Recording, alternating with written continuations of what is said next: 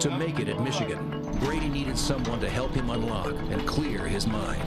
Someone like Michigan's Associate Athletic Director, Greg Harden. In those days, I talked to every freshman class that came in, looking at the issues of self-defeating attitudes and behaviors, relationship mastery, all kinds of crazy stuff. And then eventually, we were doing giant group therapy building a team.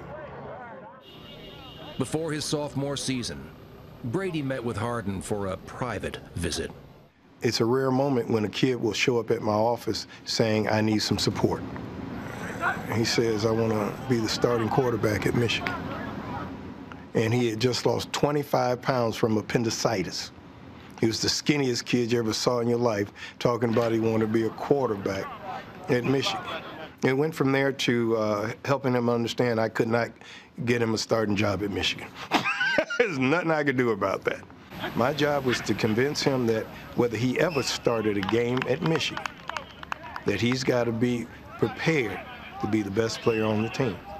And if he's doing his job to be the absolute best possible competitor on that floor, on that field, period, he'll have a shot. Everyone that wants to leave doesn't want to leave because they made a choice. They chose Michigan and they want it to work. But not starting breaks your heart. And the fight is how do you not take it personally? We recruited you, we loved you, and now you're going to go somewhere else where they're going to recruit you, they're going to love you, it's going to be the same people, the same disposition, the same attitude, and you will have to prove yourself.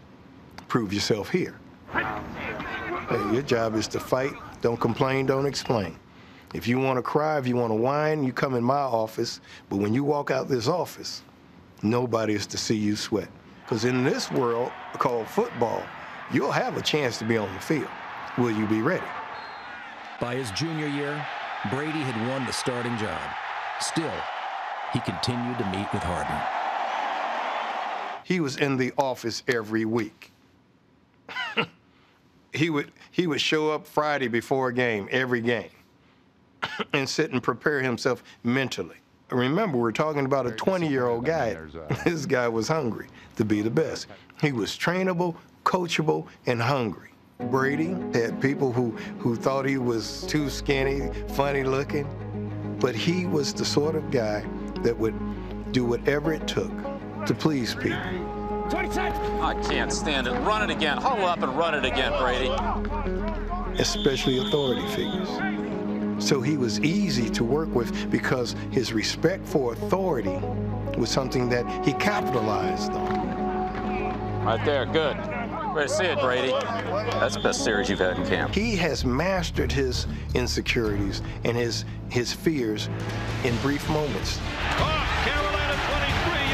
He has learned to silence the noise and the clutter in order to focus like a laser beam on the task at hand. He was able to wrestle with whatever demons he might have had.